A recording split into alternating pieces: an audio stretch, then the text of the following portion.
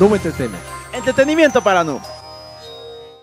Hola amigos, ¿cómo están? Bienvenidos a Noob Entertainment. En este nuevo video les tenemos una reseña y opinión sobre la película Kimi no Nawa o Your Name para el resto del mundo. Película de animación japonesa dirigida por Makoto Shinkai. Makoto Shinkai, efectivamente, que se estrenó el año pasado en Japón y aquí en México apenas la estamos viendo en este mes y esta es la última semana en la que va a estar, así que si no la han visto, aprovechen. Hablando de rasgos, esta película nos narra la historia de De Taki, un chico que vive en Tokio, y Mitsuha, una chica que vive en un pueblo rural llamado Itomori. La historia básicamente se desarrolla en que estos, por alguna extraña razón, intercambian lugares, un día sí, un día no, así como llegué a entender, y estos así empiezan a convivir de forma indirecta por medio de un, de un diario. Ah, se provocan muchos, muchos ¿Problemas? problemas, malos entendidos, y esa es la parte cómica de la película. De hecho, está muy bien desarrollado el, el inicio. Sí, vaya, que va viviendo la vida del otro y pues también como son lugares en los que jamás han estado y eh, vidas que, que nunca, eh, pues vaya, que nunca han vivido, pues van descubriendo cosas el uno del otro y así van desarrollando un vínculo entre ellos. ¿Cómo se llama el pobre? Itomori. Itomori. Con un lago muy bonito. muy- eh, con bosque y todo. De hecho, se supone que, no, no, no recuerdo si el lugar tal cual en la vida real es Itomori, o bueno, el lugar en el que está basado esa, ese pueblo, el pueblo de la película, eh, ha aumentado ta- eh, ya su su turismo. su turismo eh, por gente que obviamente al ver la película pues quiere visitar los lugares. Y de hecho, o sea, se hacen viajes así para visitar los lugares en los que se inspiró la película. Pues supongo. No por nada fue la película más taquillera de Japón. Es más, creo que en algunos cines de allá todavía la están proyectando. O sea. Y aquí en México, desde que se estrenó, se ha mantenido en los primeros lugares de Sí. taquilla también. Y pues de eso básicamente es lo que podríamos hablar a grandes rasgos de la película de la trama. Les avisamos que en este video no va a haber spoilers porque queremos que vean la película. Que eh, yo siento que sí tuvo sus giros de trama, que al menos a mí me sorprendieron. Yo no he visto más películas del director, yo supongo que tú sí lo conoces un poquito más. Sí, un poquito más, no tanto. O sea, he visto las que todo buen conocedor de anime debería haber visto. Entonces procuraremos no decir nada que les afecte al momento de ver la película. Espero, no prometo nada. Bueno, y con todo esto, ¿cuál es su opinión, Lalo? Empezando por la historia.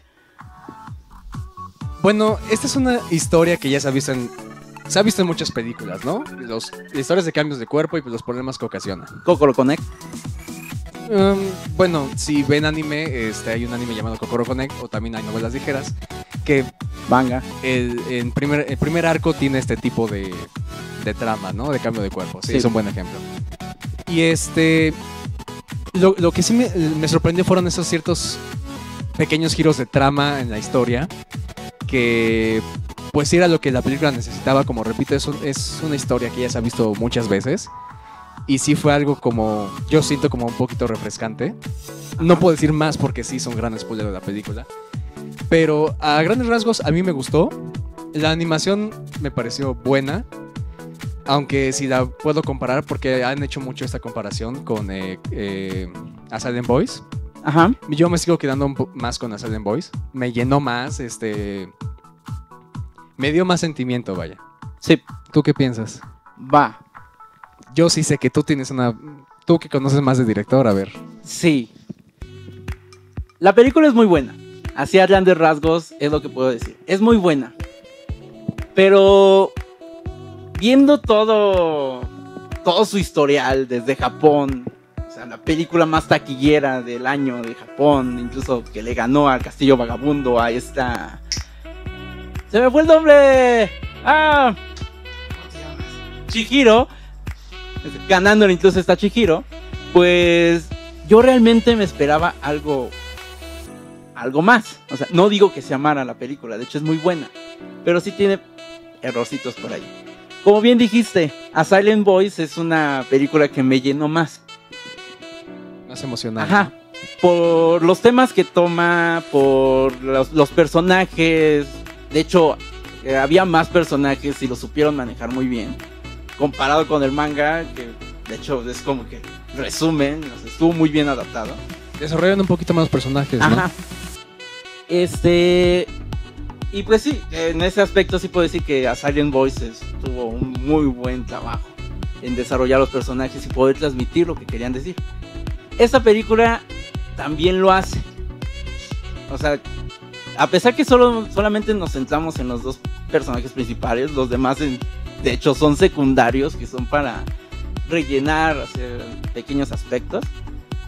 Este está muy bien trabajado, pero llega un punto el cual es para mí el mayor error de esta película, que es su música. Este, no digo que sea mala la música, pero no la supieron emplear. Por ejemplo, en A Silent Voice tiene un tema que se maneja en casi toda la película.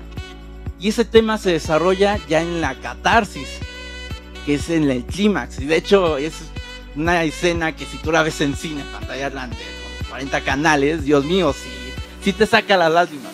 No puedes resistir a no ser que seas un insensible. Esta realmente a mí me, siempre me la vendieron. Es que vas a llorar, vas a reír, y quién sabe qué. Sí, sí vas a reír y todo, pero en ningún momento sentí ese, como que esa necesidad de, oh Dios, esto me duele hasta el alma. Pero fue por cómo administraron la música. Por ejemplo, no, no es spoiler, pero más o menos podría insinuar algo. En la parte más importante de la película, donde está, se está desarrollando lo, importante, lo que realmente el clímax de la película, pues me ponen una canción con este cantante que la verdad no me acuerdo el nombre, me encanta ese cantante, pero este, me ponen una canción que es súper alegre y así como que hasta motivacional, ¿no? Cuando te quedas así, oh Dios mío, aquí se hubieran puesto instrumental, violines, no sé, el cliché de, de, los soundtrack. Eso hubiera estado desgarrador realmente. Llegó, llegó ese punto en el que ya simplemente me estaba concentrando en, en lo que veía en la pantalla. Ajá. Porque sí, como que no concordaba lo que estaba escuchando y lo que estaba viendo. Sí, de hecho, te saca del, de la situación, que debería ser lo contrario. O sea, no digo que la música sea mala, de hecho es muy buena la música. La historia, insisto, está muy bien, aunque al final, sin decir spoiler, siento que dieron muchas vueltas para, para lo que ya sabíamos que iba a pasar. O sea, yo les digo que sí o no va a pasar. Es que vaya, debido al giro que da la historia y pues que tenían que terminarlo de forma coherente, coherente ¿sí? Este, yo lo sentí sí como que un poquito brusco. Al final de la película yo sí me quedé como de ¿qué? ¿Ya? ¿De plano así? Y pues, eh, no sé, como que me faltaron minutos para desarrollar un poquito de final. No sé tú. No, de hecho no. Lo que tiene son minutos de más. Eso es lo que tiene, porque en la última parte bien la pudieron terminar a la mitad de tiempo. Realmente la pudieron haber quitado toda esa jerga visual y construir la historia. Y ya. Pero lo que tiene es eso, es de que lo extiende mucho, lo extiende mucho y todo así que ya cuando ya llega el mero mero final, si lo sientes así como, ching, ahí te vas tu final. Ya sé, sí, ya sé a qué parte te refieres. Ajá. La animación. Lo siento, Lalo, pero está chavo en este aspecto. Este director ya nos ha sorprendido con películas como 5 centímetros por segundo y El Jardín de las Palabras. O sea, creo que son sus dos películas más emblemáticas. Ahí tiene más, obviamente, pero son así como que las que todo el mundo alguna vez ha visto, excepto Lalo. Este, y 5 centímetros por segundo está. Tiene una animación muy bonita es una combinación entre la animación clásica con un poco de computadora. La verdad es muy sutil. Sobre todo en los pétalos. Es muy bonita la animación. Y de ahí nos pasamos bastantes años. Nos vamos al Jardín de las Palabras. Es una película con una animación hermosa, realmente hermosa. Básicamente el que la haya visto sabe de lo que hablo, pero el que no, vemos pura agua. Es pura lluvia y tiene una animación es impecable, realmente es muy bonita. Y si las comparo con estas dos, fue como una mezcla entre 5 centímetros por segundo y, ¿cómo se llama? El jardín de las palabras. Se quedó en punto medio. Eh, no, es que de hecho ni siquiera un punto medio, porque imagínate, esta película de Kimi no Nawa utiliza animación tradicional con animación CGI. Pero es como la animación tradicional de 5 centímetros por segundo con el CGI de Jardín de las Palabras. Y en algunas partes era evidente la tradicional CGI. Tradicional CGI, pero lo que más abundaba era la, la tradicional. Si nos vamos de ese aspecto, la verdad bajó de calidad. Realmente yo así lo sentí, ¿no? Sentí más bonita la animación de, de A Silent Voice Efectivamente. que esta. Y a pesar de que los escenarios se ven que están muy bien trabajados y todo, los personajes sí los sentí como que muy, muy simples. Así que en ese aspecto también como que me, me defraudó un poquito esta película. Así a grandes rasgos, pues esta película es muy buena. De hecho, de todas las películas que yo he visto de este director, siento que es la más comercial. Insisto, el argumento es muy bueno. La animación es estándar, la verdad es estándar, no puedo decir que es excelente. Comparado con los trabajos que he visto anterior de este director o de otras casas productoras, pues sí puedo decir que es estándar. ¿Hay algo característico de todas sus películas? Sí, el sello de, de este director está muy marcado y es a lo que iba. A pesar de que es como que muy comercial, se siente luego, luego ese sello. Y como que cierta nostalgia en el ambiente. O sea, el que ya ha visto las películas lo sabe. El que apenas la vaya a ver, lo va a sentir. Se siente de, luego, luego. Este, así que ya calificando la película, yo, le- yo le daría un 8 por argumento, básicamente. Pero aunque la verdad, si contamos la música, que siento que fue el mayor problema de, de, de toda la película, le daría un 7. Pero sí, si le cambiaran la música sería diferente, la verdad. Va, pues yo la dejo, la dejo con un 8. Ya considerando la música. De igual manera porque tendría que ver el resto de las películas de este director como para hacer esas comparaciones, ¿no? Yo con lo que sé ahorita, con lo que he visto, me quedo con un 8. ¿Y la volveré a ver? Sí, eso sí, muy recomendable, la verdad.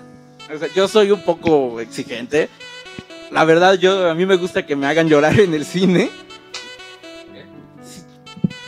Y esta pues no cumplió su propósito, por eso salí un poco decepcionado. La verdad me la vendieron con muchas lágrimas. El señor quería llorar, no lloró. No, no lloré. Pero pues bueno, este, creo que eso es todo. Ha sido todo. La verdad es que podríamos extendernos todavía más, pero no queremos ser tan largo el video y no queremos arriesgarnos a decir spoilers. Sí, porque ya estamos entrando en calor. Sí. Vean la película, se la recomendamos totalmente. Y pues nos veremos próximamente en un nuevo video. Ya saben que si quieren ver nuestro contenido, estamos en Facebook, Instagram y aquí en YouTube, por supuesto. Ha sido, ha sido todo por hoy. Último, ¿algo más que decir? No, véanla. Tienen una última oportunidad para verla. Promociona Cinepolis. Y esto fue todo por hoy. Esperemos que les haya gustado y nos vemos en el próximo video. Yo soy Lalo Fonseca Damián Jiménez. y nos vemos hasta la próxima. Bye bye.